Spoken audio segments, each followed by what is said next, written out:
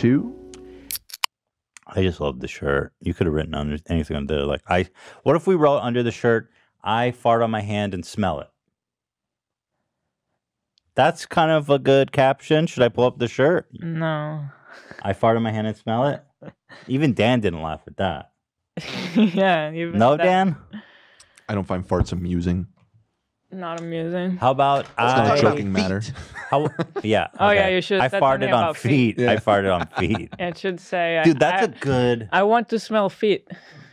I want to smell feet is pretty funny. I'm not gonna utter that. What about Hila just did though? That's a soundbite. that? Is a sound bite. Yeah. Oh no.